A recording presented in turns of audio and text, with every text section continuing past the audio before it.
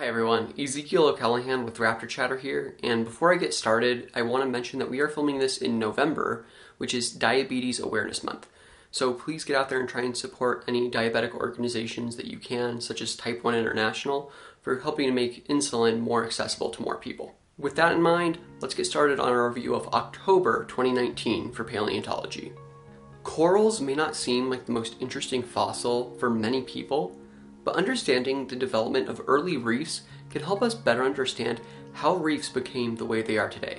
The first reefs during the Cambrian period were mostly comprised of sponges, and this changed during the Ordovician when corals began to evolve and take on a more central role in reef building. Most of the rock from this time period has been worn away, particularly in the eastern United States. However, a new find coming from the border of North and South Carolina helps to illuminate some more of the coral's history in the Ordovician. The most unique thing about these corals is the angular sand grains that were found among them, as you would normally expect to see rounded sand grains that had been eroded into a spherical shape by different currents in the ocean. Coming from the Ordovician, these fossils can hopefully help us understand better how corals were able to survive through the Silurian and Ordovician extinction events, and how they were able to become so prominent in the reefs. Particularly again, as these have unique preservation with that angular sand, meaning this kind of preservation of these particular coral types probably won't be seen many other places. In the past few months, Thailand has added a whole new variety of theropod dinosaurs to our knowledge, and now they can add an additional one to the mix.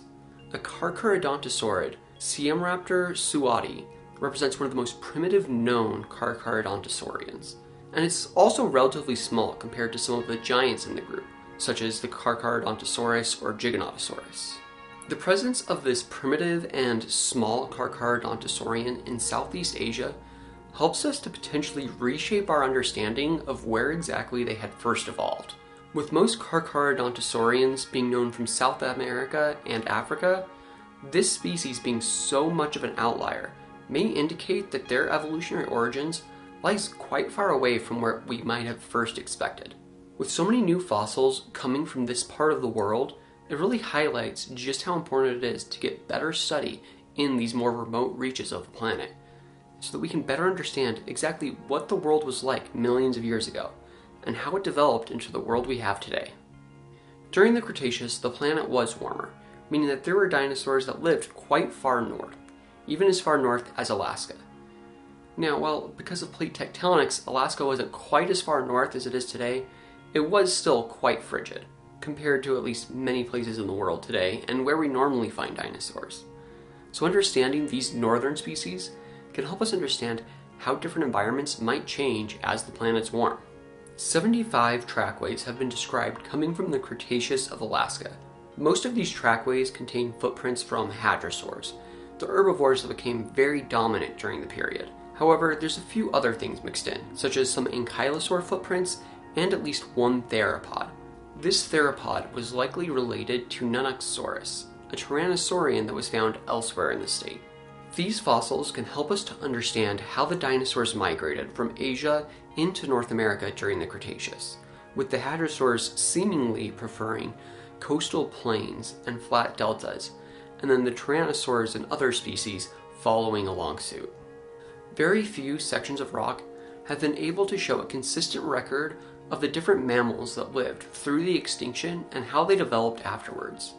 A new find coming from Colorado has helped to illuminate this, though, as it does contain exactly that record. What they found is that after the extinction, the most significant limiting factor for these mammals was the plants that they lived alongside, with larger body sizes only being attained after things like beans and legumes had migrated into the region, allowing for more protein to enter the diet and for those mammals to begin attaining larger sizes, up to 80 pounds, which doesn't sound like a lot by today's standards, but after the extinction, the largest mammals that had existed were only a few pounds.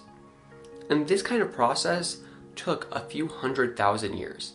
This pattern of food prioritization can also be seen in the teeth, where the very early mammals in the time have very flat teeth, likely used for crushing seeds, whereas the other ones have more cusp teeth for grinding tougher plant materials, such as leaves and the beans which I mentioned before.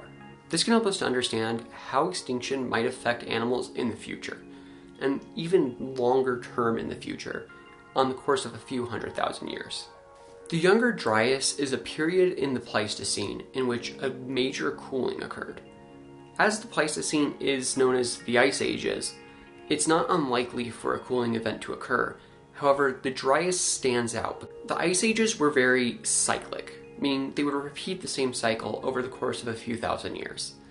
The Younger Dryas throws a wrench into all of that, causing cooling when there should have still been warming occurring.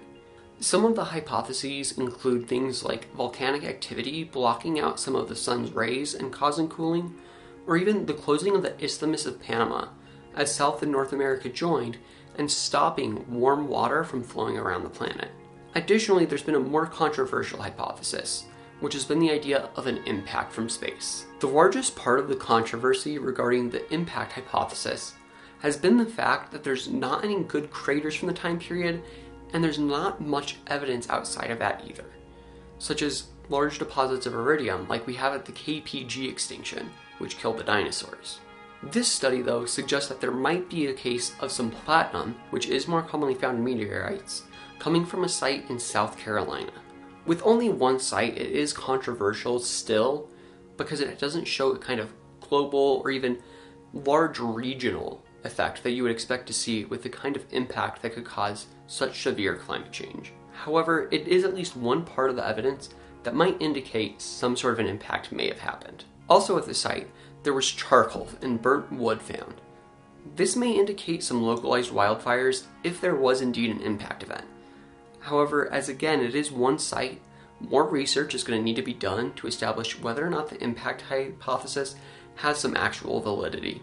There is a new earliest tetrapod, the ancestors to all of the vertebrates that live on land today. Parmastega aelidae represents this earliest tetrapod, and it had very unique features compared to the other tetrapods that we know that were very early. Specifically, it had eyes that were resting very high on top of the head, which means it would have been looking out of the water quite a bit of the time.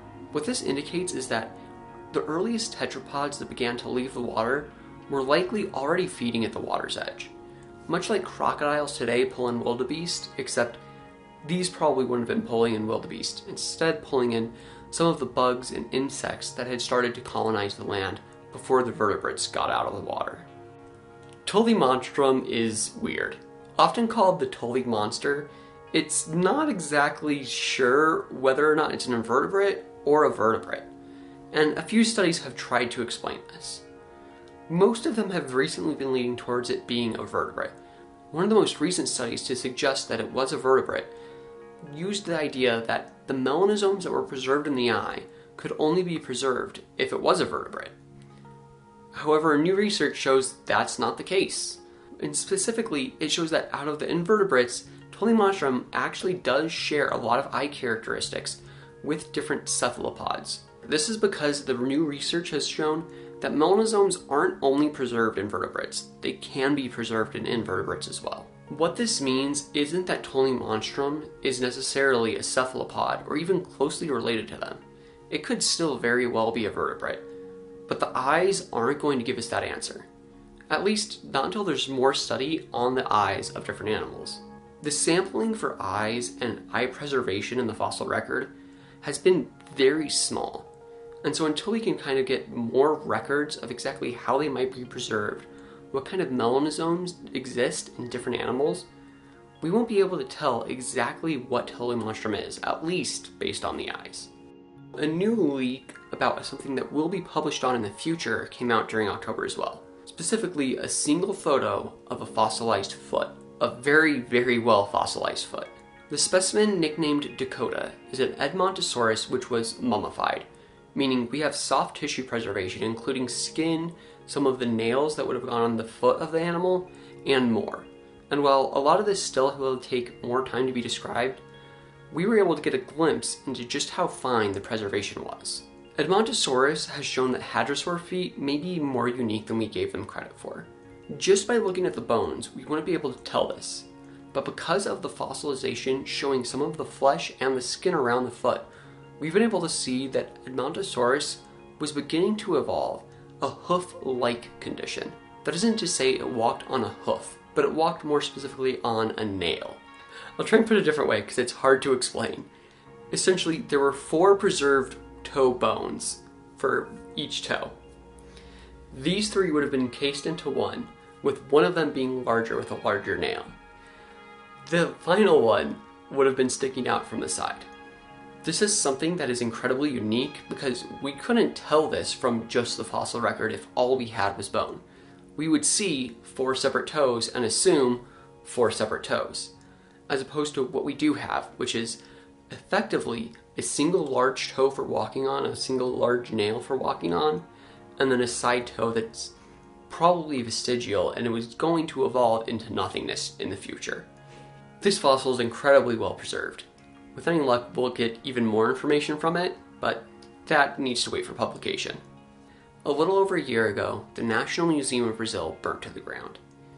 Many fossil specimens were lost during the fire, and there have been some glimpses of hope, such as Luzia, the oldest human fossil coming from the Americas, which was in the museum and was at least partially recovered. Now we have even more fossils being recovered, including an entirely brand new species of Azhdarchid pterosaur that was found originally in Antarctica but was recovered from the wreckage of the fire. This fossil hasn't been formally described yet or even given a new name as a species, but was announced at the Society of Vertebrate Paleontology conference, which was held in Brisbane, Australia. Hopefully, it is the first of many fossils to be recovered from the wreckage and the first of many other artifacts, as the museum did hold a wide variety of artifacts for anthropology, history, and other subjects. Also, from the Society of Vertebrate Paleontology meeting, the idea that sauropods may have had beaks. And the reason for this idea comes from the finding of fossilized sauropod teeth that are isolated from the rest of the animal. So it's just teeth, but they are lined up very neatly in a row. The idea proposed for this is potentially that sauropods had a keratinous beak, meaning that it could have broken off and been detached from the animal after it had died, gotten buried by sand and rock, and then the keratin would have worn away and eroded away, leaving the teeth in still a very nice and neat form to be discovered millions of years later. Well, again, this is another thing that was just discussed at the meeting and hasn't been published on. The idea has gotten some traction beforehand, with a few other researchers suggesting it. However, now we might actually be able to get the kind of dedicated research to establish whether or not this was the case more permanently, as this story has picked up even more traction than the others had, and now we have more researchers in the field than ever before. Sornitholestes is one of the most known late Cretaceous North American theropods, and specifically dromaeosaurs. Often it's been assumed that Sornitholestes was closely related to Velociraptor, not in part because Velociraptor and Sornitholestes were two of the earliest known dromaeosaurs, but a new finding of a more complete Sornitholestes changes that idea quite a bit. The older Sornitholestes fossils were missing the skull, which has a lot of detailed information that would help us understand just how closely related to the other species of dromaeosaurs it would have been. What we found is that Sornitholestes probably represents a more distinctive North American style of dromaeosaur, rather than being more closely related to Velociraptor, which would have needed to migrate from Asia to North America, as many species did. What this indicates is probably that Velociraptor and the Velociraptorines probably didn't migrate quite as successfully as we might have thought, and the North American dromaeosaurs were probably more successful than we thought.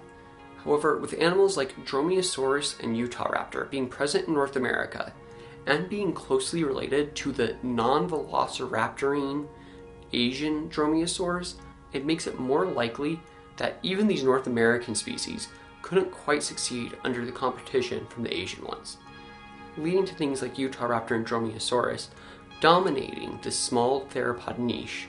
While Sornitholestes and Velociraptor may not have been as closely related as we might have previously thought, we did find one trait in common and that is a grooved tooth that was likely used for preening feathers. With this in mind, we need to understand that these animals were separated by oceans. That means that feathers and complex feathers, such as the kind of Velociraptor and other dromaeosaurs had, would have needed to evolve at least before that split of these two species. Meaning that while these are both Cretaceous species, feathers probably evolved at least by the mid Jurassic, if not earlier. Behaviors can be very hard to identify in the fossil record. Oftentimes, the best evidence we have of behavior are different trackways or potentially even coprolites, which can show what the animal would have been eating. Sometimes we do get a better idea of behaviors from a body fossil, or more specifically in this case, a collection of body fossils. Discoveries of multiple trilobites have occasionally shown that they would march in lines, and this is a unique behavior that is still seen in some modern day arthropods, such as the spiny lobster, which is known for migrating in straight lines during the autumn to try and avoid some of the winter storms. Whether or not this same behavior was what we were seeing in trilobites has been questioned. However, now it does seem more certain that this was probably the case, that they were trying to avoid storms. Studies of the sediments around these trilobites have shown that these were likely storm sediments, meaning the storm lifted a lot of the sediments off of the bottom of the ocean and then resettled them down, occasionally trapping trilobites and entire lines worth of trilobites.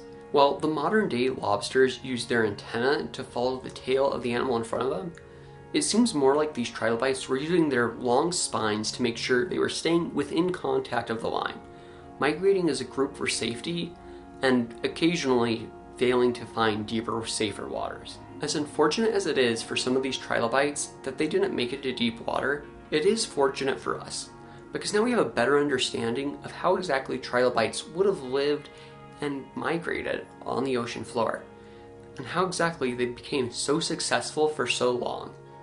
Uh, once again, want to shout out Type 1 International for diabetes stuff. I myself am diabetic, so it's something I am very passionate about. Again, Diabetes Awareness Month, Type 1 International, they do good work.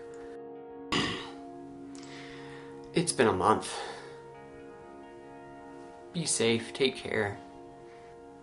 Don't go extinct.